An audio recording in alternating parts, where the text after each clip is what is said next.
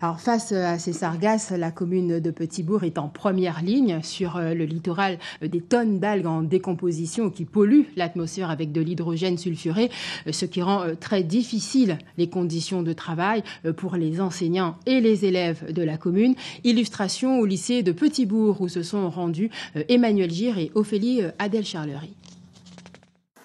Pour les élèves et les encadrants du LGT des droits de l'homme, tout est fonction des courants aériens. Si le vent vient de la mer, c'est une journée aux enfers qui commence.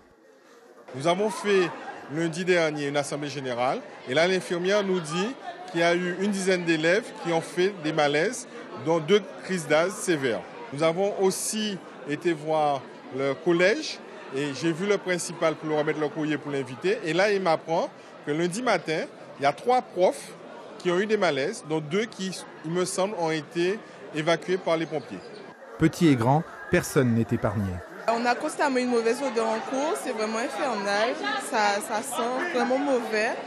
Euh, j'ai des amis qui ont des problèmes de santé à cause de l'odeur aussi. Euh, il y a certaines de mes amies, leurs yeux, ben, ça coule, euh, elles ont des problèmes d'asthme. c'est pas, pas normal, ça, ça sent, c'est invivable.